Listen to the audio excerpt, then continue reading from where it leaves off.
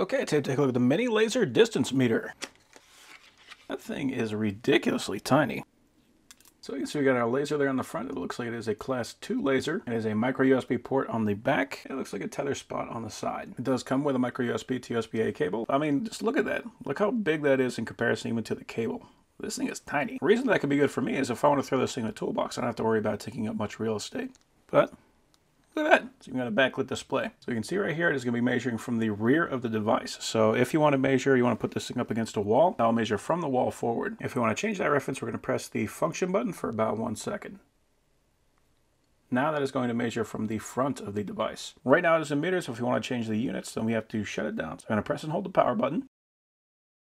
And then to turn it on, I'm going to press and hold the main button. I'm going to hold it down for about two seconds. Now we are in feet. So it looks like it won't switch again, so just shut it off again. We'll do the same thing. And now it is in inches, and now it is in meters. So we got feet, inches, and meters. The power off button also turns the backlight on and off. So if you just want to take a measurement, we just press the button, and we got a measurement. You can also do a continuous measurement just by holding the button.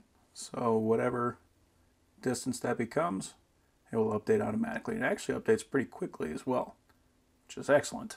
That's cool. So you have to hold the button down. Neat. So if we quickly press the function button, we can do square area. So if we want to measure the square footing of a room, we can just measure one, measure the other.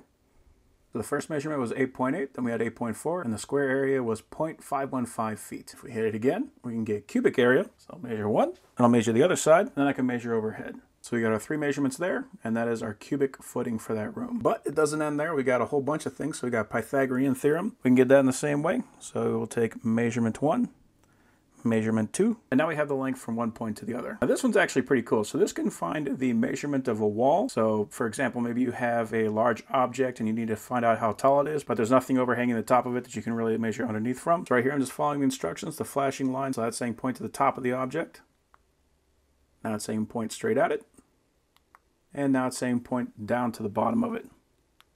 So there we go. Now we know the total length of the wall is 33.9 inches. So very cool. And it looks like this one actually has one more measurement mode. So if we have a wall and we want to measure from the top to a point in the middle of it, but we only have the distance of the total wall, we have the subtraction function. So first I'll measure to the base, then I'll measure straight at the wall, and then I'll measure the midpoint.